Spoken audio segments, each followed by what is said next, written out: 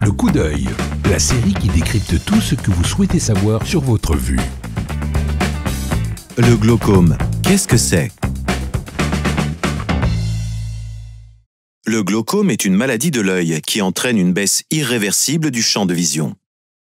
Cette maladie oculaire est la deuxième cause de cécité dans le monde et elle concernerait plus d'un million de personnes en France. Si les plus de 40 ans sont les plus touchés, le glaucome peut se manifester à tout âge. Mais comment se développe un glaucome?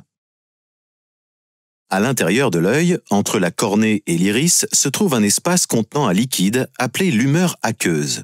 Ce liquide se renouvelle de façon constante par un processus de production et d'évacuation. Lorsque l'évacuation est déficiente, le liquide s'accumule, ce qui a pour conséquence d'augmenter la pression intraoculaire. Cette pression trop forte comprime alors les structures de l'intérieur de l'œil, et en particulier le nerf optique, très sensible à la pression. Il existe différents types de glaucome.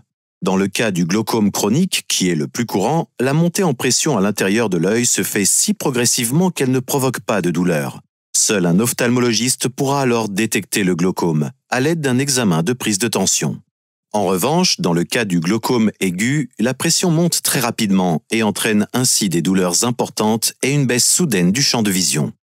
Certains facteurs peuvent favoriser l'apparition d'un glaucome chronique. C'est le cas d'une forte myopie.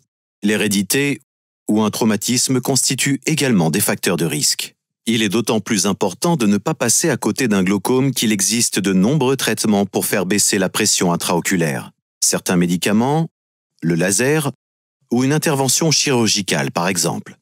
La surveillance de ces traitements se fera tout au long de la vie. Ainsi, pour prévenir le glaucome, faites vérifier régulièrement votre pression intraoculaire. C'est l'un des examens réalisés lors de votre rendez-vous chez l'ophtalmologiste.